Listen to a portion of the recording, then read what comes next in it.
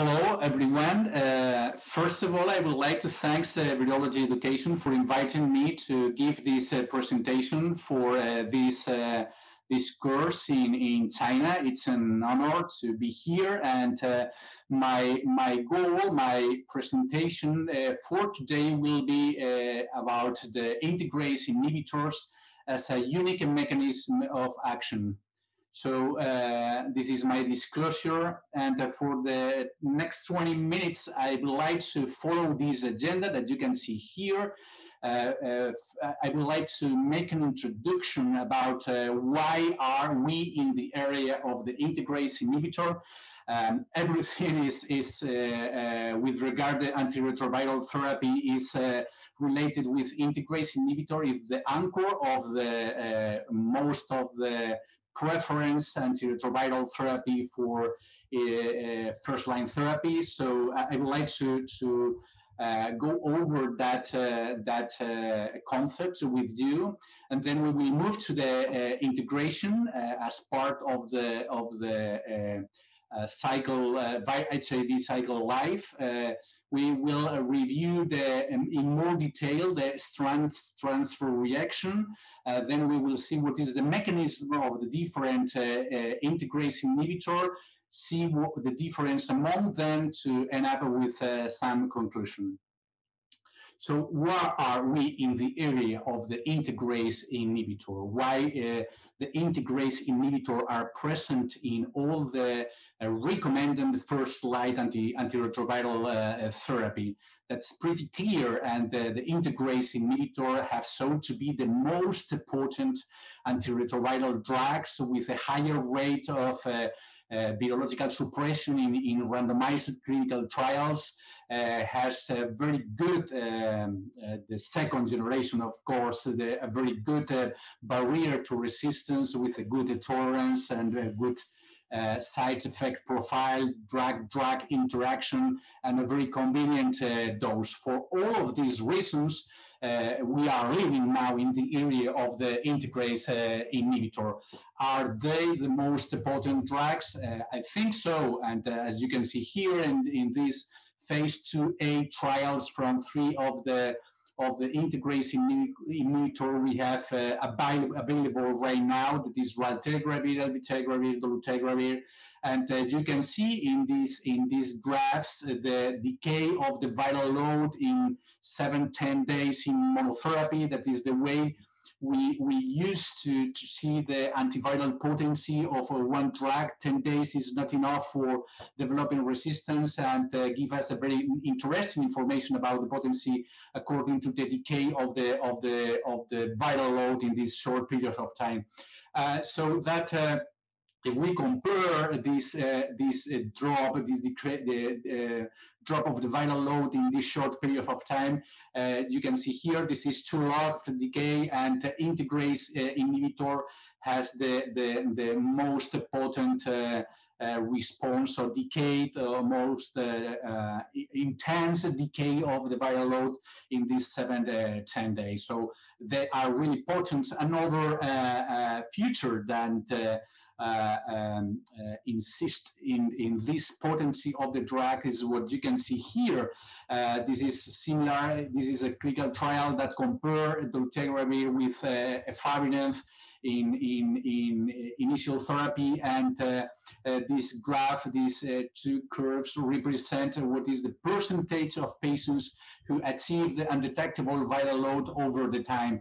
As, as and you can see, it's very clear that with dolutegravir, uh, it's it's faster the achieve of the achievement of the undetectable viral load for for patients. So that it's another data about the the, the potency of the of the of the uh, integrase inhibitor. So the other uh, feature that adorn the, the integrase inhibitor that uh, it's the excellent tolerance and uh, is, this is a representation of the uh, uh, of the population that uh, that uh, stop that uh, um, interrupt the, the treatment due to the drug-related side effects. And these are the many different trials that compare different regimens. As, as you can see here in green, we have the the the the rate of discontinuations due to the side effects. And you can see here that it's lower than uh, with uh, in blue uh, protease inhibitor, darunavir, or in red uh, uh NNRTI. So I think that uh, all these uh, features explain why the integrase inhibitor are the most recommended drug for for for treatment. So there is any doubt that we are living in the area of the integrase inhibitor for many uh, uh, uh, reasons. So now let's let's move to the to the um, to the uh, integration process, and uh, I would like to start first uh, going over the the the HIV life cycle um, in the in their different uh, in its different steps. Uh, as as all of you know, first uh, there is the virus has to go into the cytoplasm. Then the the uh, when uncode the capsid, the, the RNA is in the in the cytoplasm. Uh, the, through the retrotranscript, retrotranscriptase, the RNA is converted to DNA uh, this DNA has to go into the nucleus to be integrated in the host chromosome, and then after the transcription, translation, and different uh, steps of maturation of the virus, we will have the, the new viron. So uh, the the uh, the uh, integration of the of the virus in in in the host chromosome it's a very it's a very critical step from the HIV life cycle. It's uh, this integration is critical in the replication of the, this kind of virus, the retrovirus. It's an essential uh, um, step uh, of process in the HIV life cycle. It's important to point out that it's a point of no return. That means that when the uh, DNA is integrated in the chromosome of the cell, that it will be stay there for all the uh, cell life. So that uh, implies that due to that we have, there are um, cells with a very long half-life, uh, uh, this is the, the, the, barrier to the, to the cure of the HIV. So uh, the integration is a very important process, is a very important step in the HIV uh, life cycle. So so this is a very simple uh, um, schema about uh, how is the integration process. It's, uh, as I said, it's a, it's a multi-step process. Uh, first, uh, the, the DNA has to bind to the, uh, to the, um, to the integrase uh, then the integrate the, the DNA have to go into the nucleus, but, but to finally uh, enter insert in the in the uh, host chromosome. In in very uh, short uh, um, um, expression or short uh, sentences, we can say that the the different catalytic steps are the formation of the pre-integration complex, then the virus ha has to enter to migrate into the nucleus, but finally through the uh, trans transfer reactions uh, uh, insert uh, this uh, DNA into the chromoso host uh, Uh, chromosome. This is a very simple uh, uh, schema, but it's very, very representative of this process. In a simple word, the, the integrase has to take the hand of the DNA, take it into the nucleus and they're insert into the host chromosome. That is the, the, the process of the uh, integration. On, and uh, what is uh, leading, what is uh, the directing the, the all this process? So it's the, the integrase enzyme. The integrase enzyme, it's code, encoded by the, the integrase gene here you can see the, the gene of, or the whole gene of the HIV, and in one of the uh, non-structural genes that it's for, it's included the, the, the genes that uh, encode the three most important uh, uh, enzymes in the HIV cycle life, that is the uh, RT, the protease and the uh, integrase. If, we go more in detail uh, through the integrase gene, there are three different domains in this enzyme. Uh, two terminal domains. One is the uh, N-terminal domains that uh, it's uh, it's from the amino acid 1 to the 15, the 15 first amino acids it's linked, it needs to be binded to the zinc, and uh, it promotes the tetramer uh, formation, that is the active form the, of the uh, integrase the C-terminal domains that it's from the 212 amino acid to the end. Uh, it's in charge of binding to the DNA and uh, uh, the most, uh, the catalytic, the active site of this uh, enzyme, it's, it's encoded by the catalytic core domain. Uh, in this uh, in this domain, there are there are three a triad of three amino acids in this position 64 116 and 142 and uh, that are very important for uh, the, the, link to the magnesium uh, uh, cation that it's, it's extremely important for, for the active process of the integrase inhibitor. So when it's uh, encode this this gene, uh, it's uh, what you can see here is the the three-dimensional uh, structure of the uh, integrase that in most cases it's in form of dimer, but sometimes could be in form of monomer and tetramer as well. In its uh, uh, just to point out that in each uh, uh, virus there is from 40 to 100 integrase into, into the virus. so this enzyme catalyzes the, um, the multi-step that the multi steps of the integration process. The first step, let's, let's go to, to, to see more in detail the different uh, process of the integrase. The first steps is the, the uh, three prime processing.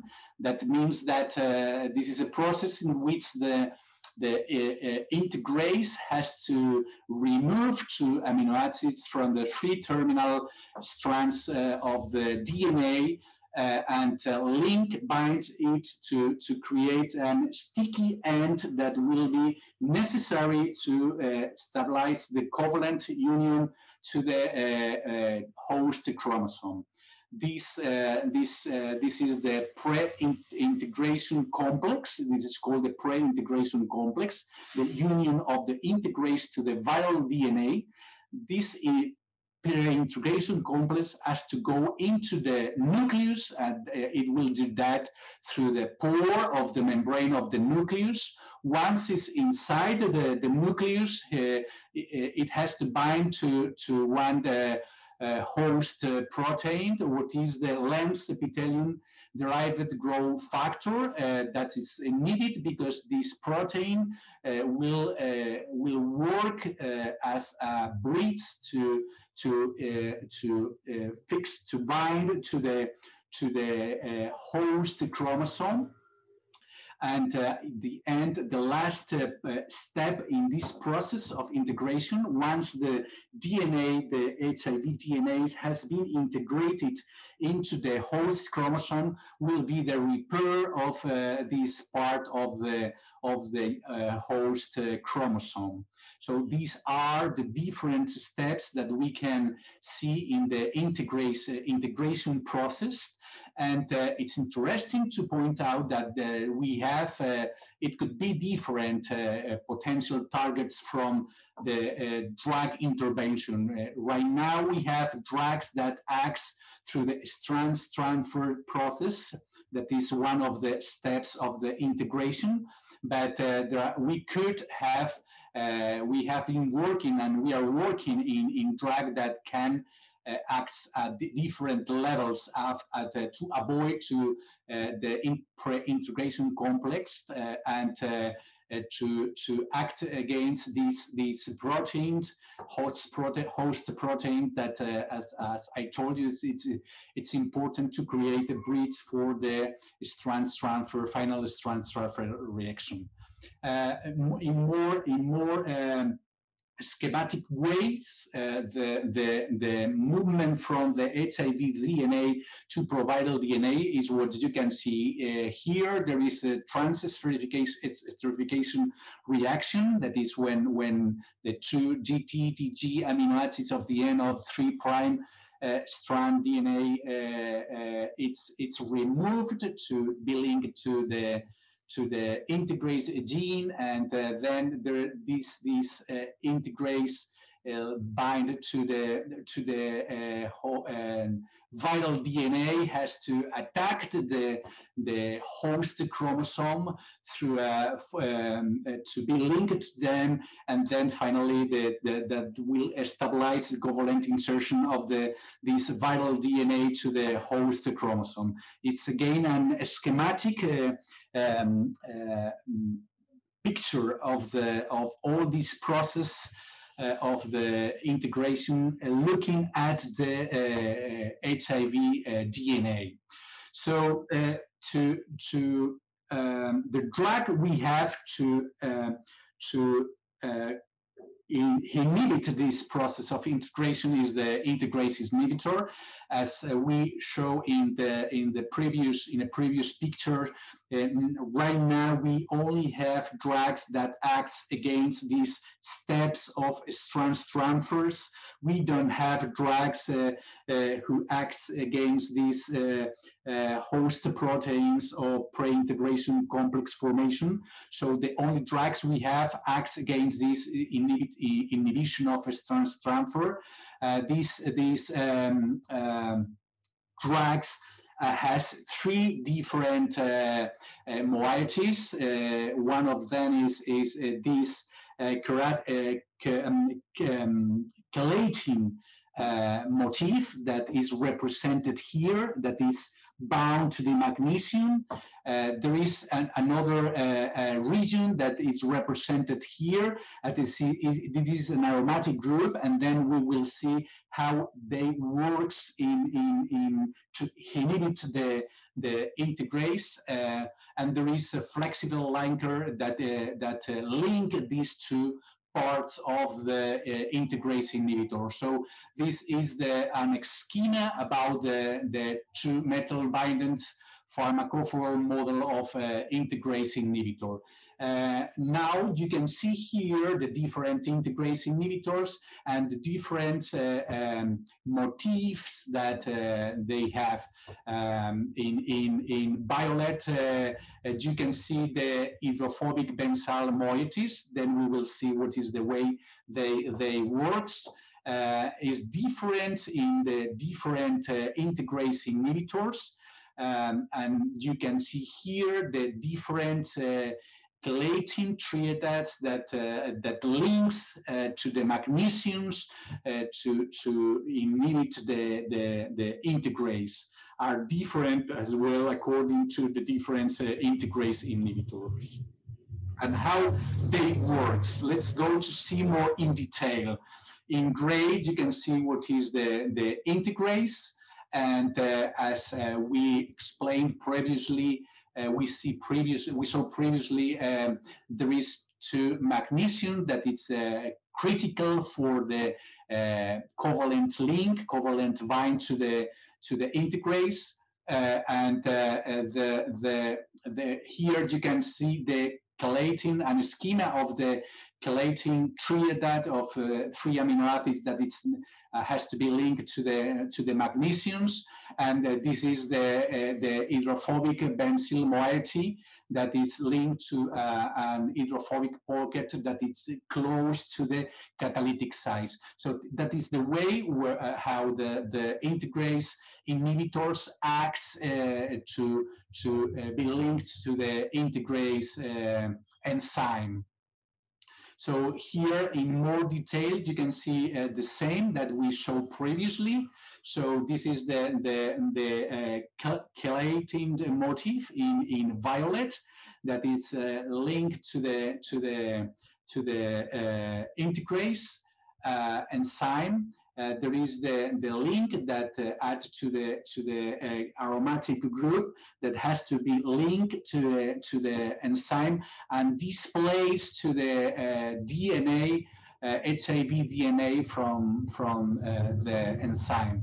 So what what happened finally is that the integrase binds to the active site to the to the magnesium ions uh, ions. That is what you can see here, and that's improve the function of uh, this enzyme. And what happens when when the integrase uh, inhibitors links to the to the integrase that blocks the trans transfer of the HIV DNA. That is what uh, you can see here. Uh, when it's blocked, what happened with the DNA there is a return of the DNA through the end uh, life of this uh, DNA through degradation and recombination and repair. So this is the DNA that uh, going to the end of uh, its life. So this is what uh, happened. And in, in, a, in a three-dimensional way, you can see here uh, the, the, the um, integrase with the catalytic triad. What happened with the integrase inhibitors it's bind to the catalytic triad. And uh, what happened in that case is that uh, uh, avoid the action of the of the integrase. So this is another uh, another uh, schema about how acts the the integrase inhibitors.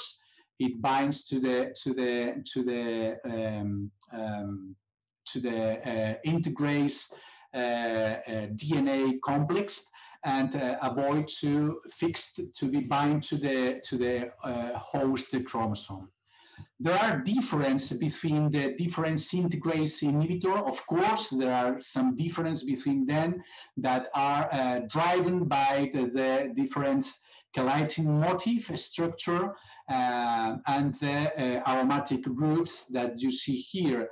And these differences uh, re are represented in, in, in, in two different aspects. That is the the association uh, half-life to the to the integrase that is different according to the different integrase inhibitor. As you can see, I can see here uh, the the half-life association to the uh, to the integrase com DNA complex is longer with bictegravir than uh, and, and dolutegravir to the uh, different to the first generation uh, integrase inhibitor.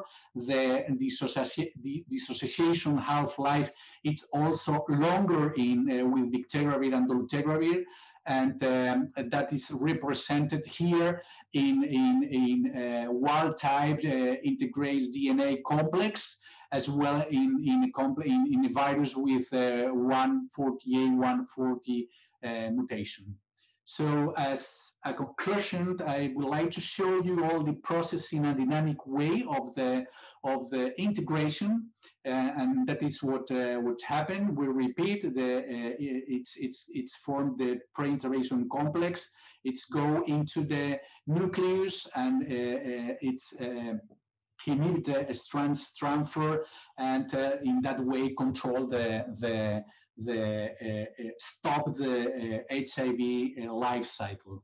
So thank you so much for your attention and have a very good day. Thank you so much.